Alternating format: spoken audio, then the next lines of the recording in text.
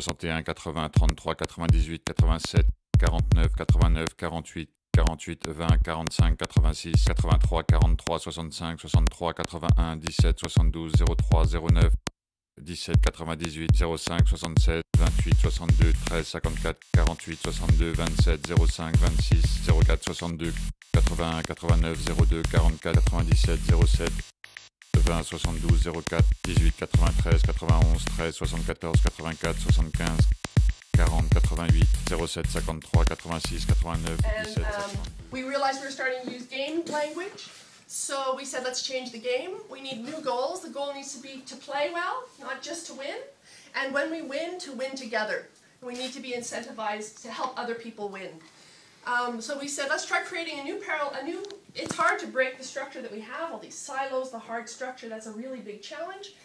But we looked into uh, the isolation thing. Crack came in here. People are social, so let's create a parallel, um, safe experience of a different kind of society. So, for example, without breaking all the projects and the silos, we create another layer, which is um, a cooking class or a photography group or an unconference across the whole organization or across different, um, not only silos, but also layers of the organization make this a safe space where people can come and have a, a gut feeling of a different kind of a relationship, a different kind of a society.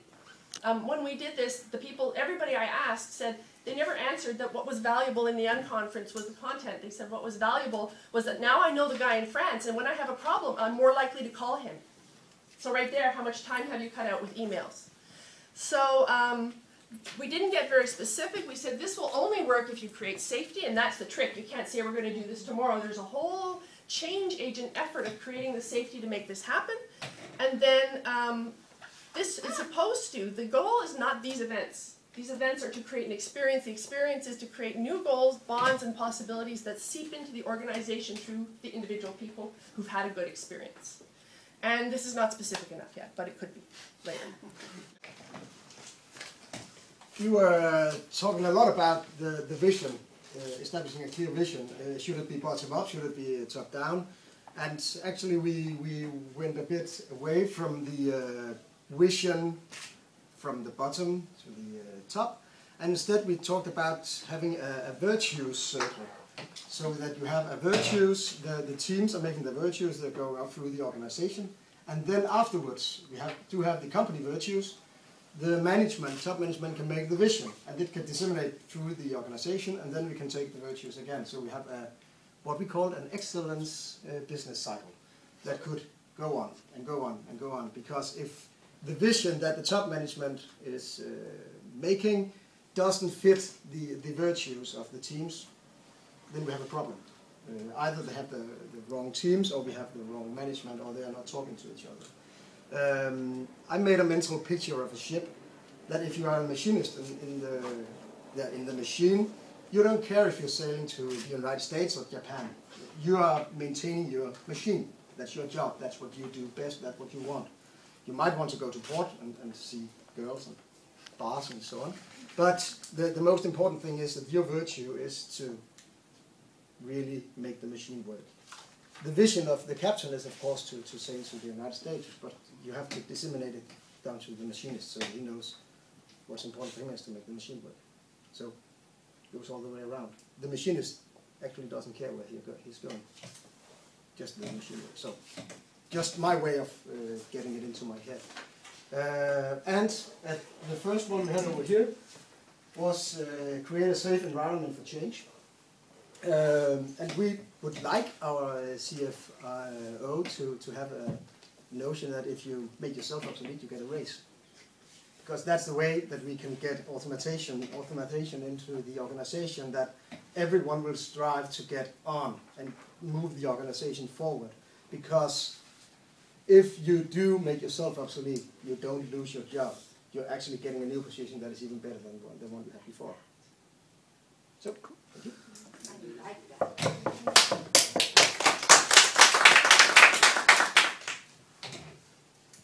Okay, let's go. And we took uh, the blaming culture, and we had kind of two separate discussions. One was more going into an analysis of, of um, what are the reasons for that, and then we tried to get into the hacking, but it was very difficult.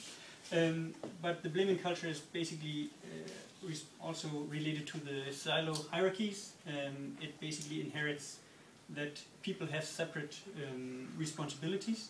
Um, we are also getting into a situation where we are specializing too much, so we have very deep hierarchies, and it basically means that people believe this is my place and this is where uh, I work, and if it doesn't work, the bigger picture doesn't work, then it's the other guy's uh, fault. Um, and we also had a, uh, an insight on that uh, blaming is typically political. Uh, it ba- is based on relationships because if somebody blames somebody I like, I will take his side typically and not look at the at the content in essence, and that's one of the issues. Um, but how do we actually um, change that? Uh, on one hand side, we think uh, we need to focus on management because again, something similar to giving incentives on the bigger picture. So if somebody is working on steering wheel, he should be incentivized on pushing out maybe a, a whole car instead, so that he feels responsible for a part. Um, and we also talked about how to visualize a, a blaming conflict. And one idea was to make a role play on management level. So let's consider a company that actually has seen that this is an issue. If we could create a situation where managers create a conflict and then afterwards say, guys, you see what this brought us? It brought us nowhere. Um, maybe we should change and look at this. But so basically convince the top level to create a conflict for fun. Okay. Um, else there were suggestions of um, of uh, looking at failed projects, obviously, and uh, and uh, analyze them, make retrospectives that we believe that that uh, failed due to blaming issues. Um, and and there was another uh, suggestion of uh, starting, if we are too specialized, to start to rotate jobs so that we get a broader idea and we broaden our competencies instead of being stuck down in the middle of a, of a specific thing. That was it. Anything else I missed? Maybe the, uh, the perfect. Uh, the, the hacking was quite difficult because management is involved. So how do you hack management?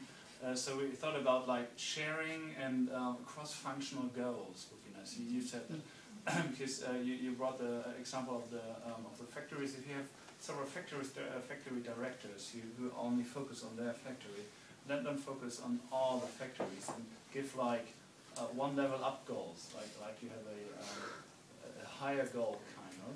I don't like the term, but um, so so you steer against these goals and don't make a steering wheel, make the driving experience better. So, so you broaden your, your view and your goals. Maybe because management leadership also have goals, like, always have goals like on KPIs and whatever. And maybe like uh, that they're all in, going in one direction, in separate directions. This is all uh, often this political side. Yeah. I, I got, based on this, just a minute, the, the, the story about uh, how the hack is done in Japanese business culture. I don't know if you know that. We had this about Yeah, the yeah, the yeah. stuff, the factory stuff. Okay, I'm sorry. No, no, but- but, but the, the story that I heard is that because society is very hierarchical, you are not allowed to speak free, okay? But there's one event when everything with the manager goes drinking really hard, okay? And that why everybody is allowed to say whatever, because the social, let's say, rule is that, you know, you are not really, you know, how to say, responsible for what you are saying, and everybody knows how it works, and that's the platform where the messages, the real messages can be exchanged. Okay? So next day, everybody presumes that nothing really happened, but the message has been propagated. So Okay, let's talk to Jack That's the Daniels hack. You can sing At that point, karaoke.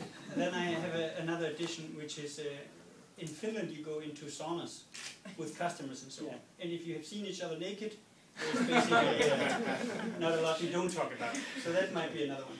Let's go to saunas. Go naked to the office. So more, more alcohol in companies. Do it both ways. Okay. and sauna. There's a gender issue maybe.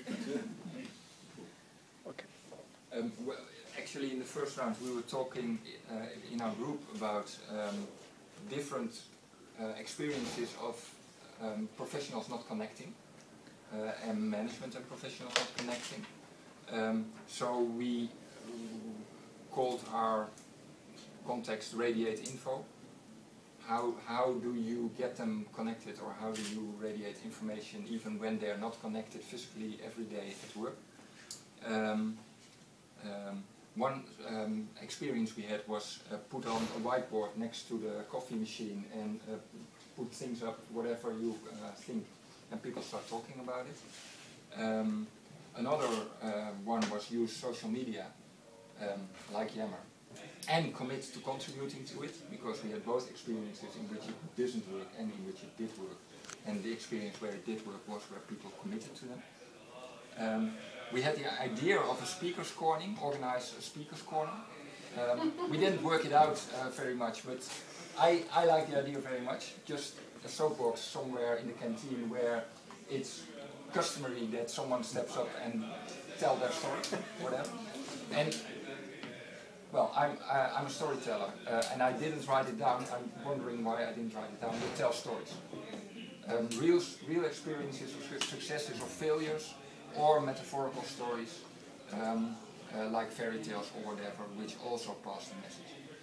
We didn't have um, uh, measurements or how do we know how it worked. I'm very cynical about KPIs, so I don't, well, we, we could think of things that you can measure, but we didn't put them down. It's hear people talk together, see people laugh together, um, uh, be in the canteen together, things like that. Count the laughs. And um, um, uh, Marek added uh, an idea that he saw in America, a thank you wall. Yeah. As opposed to the um, um, um, wall of fame, which might end up in uh, be bragging and even organized bragging about our successes. The thank you wall was, well, someone could just stick a small note on it. Um, someone from the business, uh, thank you uh, IT team for having fixed this, whatever.